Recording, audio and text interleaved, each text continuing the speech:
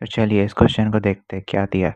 The steam point and the ice point of a mercury thermometer are marked as 80 degree and 20 degree what will be the temperature in centigrade mercury scale when this thermometer reads 32 degree तो इस तरह के question में ये formula का use करते हैं कि T minus T I by T S minus T I ये कांस्टेंट होता है।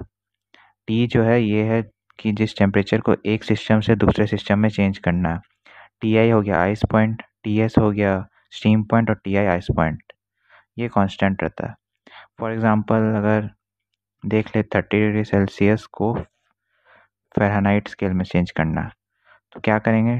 टी में डाल देंगे। ऐसे लिखेंगे कि T C minus T I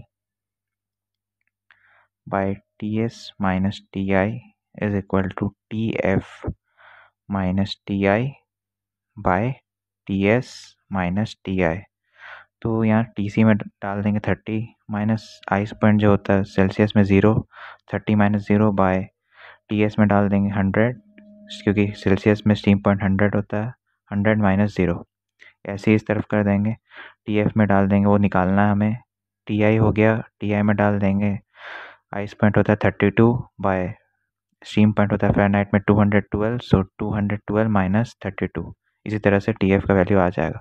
तो अभी इस क्वेश्चन को देखते हैं, इसमें क्या दिया है?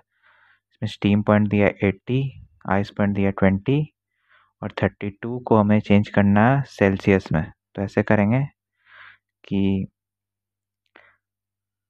थर्टी टू लिखेंगे चेंज करना है इसे माइनस आइस पॉइंट है ट्वेंटी बाय स्टीम पॉइंट हो गया दिया है eighty minus ice point twenty.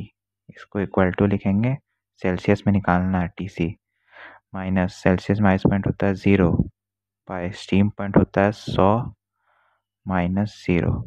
तो अब टी सी को सॉल्व कर ले रहे हैं। हो गया twelve by sixty is equal to T C by hundred. तो यहाँ से आ जाएगा ये वन बाई फाइव सो आ जाएगा T C is equal to twenty degree Celsius तो ऐसे ही इजली आंसर आ जाता है।